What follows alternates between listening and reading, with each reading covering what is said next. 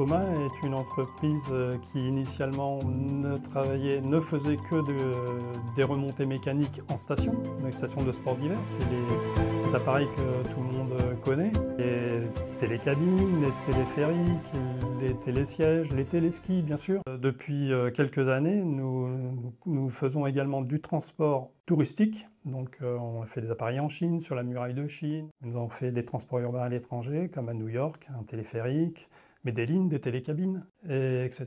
Euh, Nous faisons appel au CETIM pour euh, de la mesure physique sur site, des enregistrements de data qui nous permettent de valider des durées de vie sur nos produits. En fonction de la typologie des produits, nous avons donc des séquences de validation qui sont différentes. CETIM est intervenu, a été consulté sur l'affaire de Toulouse dans le cas de la justification à la fatigue de notre véhicule de transport urbain de Toulouse. Euh, nous avons un objectif euh, contractuel d'une durée de vie minimale de 30 ans sur la structure. Concrètement, on passe d'abord par une note de calcul de façon à identifier les points euh, qui travaillent le plus sur la structure. Ensuite, on discute avec l'organisme notifié et le laboratoire, en l'occurrence le CETIM, de façon à pouvoir ins- instrumenter le véhicule, coller les jauges de contraintes au bon endroit. Et ensuite, nous retrouvons sur site avec le véhicule instrumenté, nous le chargeons, nous enregistrons et nous post-traitons les, les datas de façon à pouvoir établir une note de calcul avec une durée de vie sûre de notre véhicule. Le CETIM, en l'occurrence, est reconnu par les organismes de certification, ce qui nous permet d'avancer rapidement au niveau de la certification. Alors en tant que centre technique indépendant, notre but c'est concevoir et réaliser des essais qui répondent à POMA.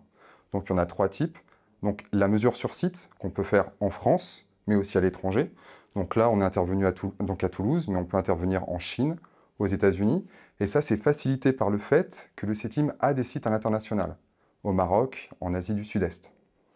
Deuxième point, on fait des mesures de glissement, où là on a déjà un banc au CETIM, donc on peut réagir très vite vis-à-vis euh, du besoin du client. Et après, donc des essais de fatigue, où là encore une fois, on crée un effort pouvant aller de 10 kN à 50 kN. On cycle suivant la norme ce que dit entre 4 millions et 5 millions. Et c'est des essais qui peuvent être assez longs, entre 2 et 3 semaines. Pour faire simple, on fait quatre types de prestations, et c'est normé, et c'est à façon. On peut faire de la formation, mais également de la surveillance à distance. En termes euh, d'expertise, je crois que enfin, c'est indéniable. Donc, on a un gain euh, de productivité et de temps à, travailler avec le CETIM, à travailler avec des experts euh, dans leur métier, car avec le CETIM, nous sommes certains d'avoir du matériel de dernière génération et des personnes formées à l'utilisation de ce matériel et au traitement des données. Nous travaillons, nous, Société Poma, depuis plus de 30 ans, 35 ans avec le CETIM. Euh, je crois qu'il n'y a pas de hasard finalement.